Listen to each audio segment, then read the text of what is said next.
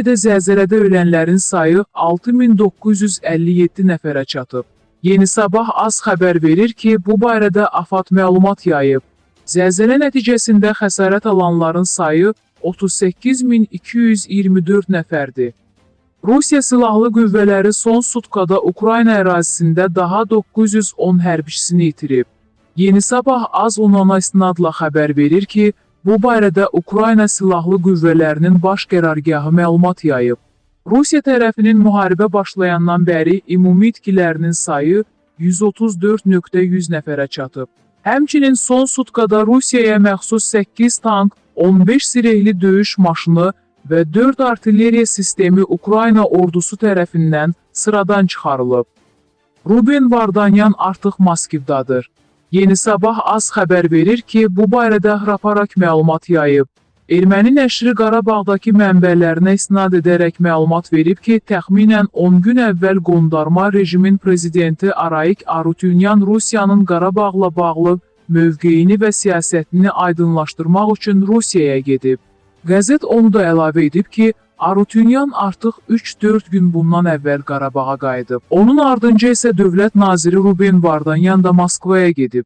Bu günlərdə o hələ də Moskvadadır. Görünür, onu da Artsaxın daxili siyasi problemlərini müzakirə etmək və yaranmış vəziyyətin həllini tapmaq üçün dəvət ediblər.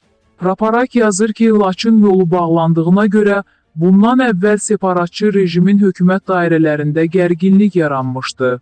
Erməni Kivi bildirib ki, bu gərginliyin fonunda tanınmamışdır da dövlət nazirinin istifası və hətta Milli Məclisin növbədənkənar seçkiləri mövzusu da gündəmə gəlmişdi. Nəşr iddia edib ki, Azərbaycan tərəfi qeyd-şərtsiz Vardanyanın istifasını tələb edir. Aydındır ki, Rusiya passiv müşahidəçi statusunu öz üzərinə götürüb. O nə yolu açır, nə Azərbaycanla dialoq qurur, nə də Artsaxın daxili siyasi həyatına qarışır. Rusiyanın bu addımı isə Artsaxdakı atmosferi daha da gərginləşdirib.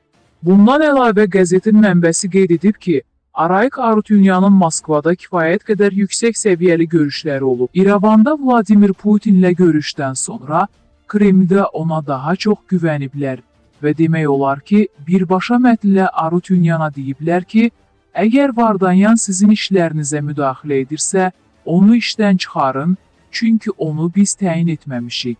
Həmçinin Kivin yazdığına görə Arutyunyanın tərəfdarları onun Moskvadan kifayət qədər yüksək əhval-ruhiyyədə qayıtdığını bildirirlər. İndi Vardanyan Moskvada ona qarşı olan münasibətə aydınlıq gətirir. Ola bilsin ki, qaydandan sonra vəziyyəti sakitləşdirmək üçün könüllü şəkildə istefa versin. Bu mövzuda yazan digər erməni kivləri də oxşar məlumatları tirajlayıblar. Onların iddiasına görə Vardanyanı Moskvada adam yerinə qoymayıblar. Hətta bir çox qapılar onun üzünə bağlı olub. Bu üzdən də separatçı dövlət nazirinin yaxın günlərdə istefa verməsi gözlənilir. Ermənistan Azərbaycandan sülh müqaviləsi üzrə yeni təklif alıb və hazırda onun mətni üzərində işləyir. Aspolitka Info xəbər verir ki, bunu hazırda Almaniyada olan Xarici İşlər Naziri Ararat Mirzoyan mətbuata açıqlamasında verib. Amma o təklifin mətninə dair detallara varmayıb. Xatırladaq ki, Ermənistan rəhbərliyi təxminən bir ay bundan əvvəl Azərbaycana sülh müqaviləsinin layihəsi ilə bağlı yeni təkliflərini təqdim etdiyini iddia etmişdi. Ancaq Mirzoyan bu təkliflərin nədən ibarət olduğu barədə suala da cavab verməyib. Mirzoyan ötən ilin dekabrında Moskvada keçirilən üçtərəfli danışıqlarda Laçın yolundakı aksiyanı bəhanə edərək iştirak etmədiklərini təkrarlayıb. Buna baxmayaraq biz Azərbaycan tərəfinə sülh müqaviləsi üzrə yeni təkliflərimizi vermişik və deməliyəm ki, bir neçə gün bundan əvvəl Azərbaycandan növbəti cavab və təklif almışıq.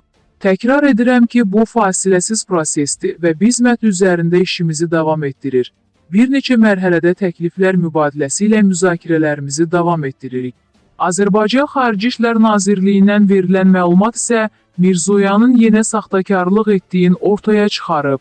Azərbaycan Xarici İşlər Nazirliyinin Mətbuat Xidməti İdarəsinin rəisi Ayxan Hacızadə bildirib ki, Mirzoyanın istinad etdiyi təkliflər bir neçə gün deyil, 15 gün bundan əvvəl Azərbaycan tərəfindən təqdim olunub. Lakin o təkliflərin detallarına toxunmayıb. Xarici İşlər Nazirliyi rəsmisi qeyd edib ki, Ermənistan tərəfi sülh sazişi üzrə danışıqlar prosesi barədə yenidən manipulyasiyaya yol verir və özünü konstruktiv tərəf kimi təqdim etməklə beynəlxalq ictimaiyyəti çaşdırmaq məqsədi daşıyır. Hacızadə vurğulayıb ki, məhz Ermənistan tərəfi sülh sazişi üzrə danışıqlar prosesinin razılaşdırılmış gedişatını pozaraq ötən ilin dekabrında danışıqlardan imtina edib. Onun sözlərinə görə indi isə sülh sazişi üzrə danışıqlara qayıtmaq əvəzinə prosesə süni maneələr yaradırlar. Azərbaycan Ermənistandan fərqli olaraq sülh sazişinin mətni üzrə danışıqların qısa müddət ərzində keçirilməsinin tərəfdarıdır və buna hər zaman hazırdır. Politoloq Elxan Şahinoğlu bildirir ki, Azərbaycan Xarici İşlər Nazirliyi ötən ilin mart ayında da İrəvana 5 baza prinsipinə əsaslanan təkliflərini göndərmişdi. O həmin təklifləri xatırladı. Bir dövlətlərin bir-birlərinin suverenliyi, ərazi bütövlüyü, beynəlxalq sərhədlərinin toxunulmazlığı və siyasi müstəqilliyini qarşılıqlı şəkildə tanıması. İki dövlətlərin bir-birlərinə qarşı ərazi iddialarının olmamasının qarşılıqlı təsdiqi və gələcəkdə belə bir iddianın qaldırılmayacağına dair hüquqi öhdəliyin götürülməsi. Üç dövlətlər arası münasibətlərdə bir-birlərinin təhlükəsizliyinə hədə törətməkdən siyasi müstəqillik və ərazi bütövlüyünə qarşı hədə və gücdən istifadə etməkdən, habelə BMT nizamnaməsinin məqsədlərinə uyğun olmayan digər hallardan çəkinmək, dörd dövlət sərhədinin delimitasiyası və demarkasiyası, diplomatik münasibətlərin qurulması, 5 nəqliyyat və kommunikasiyaların açılışı, digər müvafiq kommunikasiyaların qurulması və qarşılıqlı maraq doğuran digər sahələrdə əməkdaşlığın qurulması. Ekspert vurğulayır ki, rəsmi Bakının göndərdiyi yeni təkliflər də böyük ehtimalla bu 5 baza prinsipinə əsaslanıb. Bu təkliflərə kiçik əlavələrin olunması istisna deyil, o əlavə edib. Təhlilçi qeyd edir ki, bu əlavələr 5 baza prinsipinin mahiyyətini dəyişdirməyib. Ötən il İrəvan bu təkliflərə müsbət cavab vermədi və bununla özünə ziyan etdi. Çünki İrəvan təklifləri qəbul etmədiyini bildirdikdən təxminən 6 ay sonra İki ölkənin təmas xəttində döyüşlər baş verdi və Azərbaycan ordusu strateji yüksəklikləri nəzarəti bərpa etməklə mövqelərini gücləndirdi. Ermənistan hakimiyyətinə yeni bir şans verilir. Ermənistanın baş naziri Nikol Paşinyan onsuz da etiraf edib ki, Qarabağ yükünü daşıya bilmir.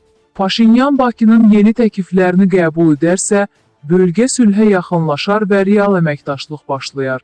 Paşinyanın Bakının təkliflərini qəbul etməyə heç nə mane olmur. Ermənistan müxalifəti zəifdir, lidersizdir.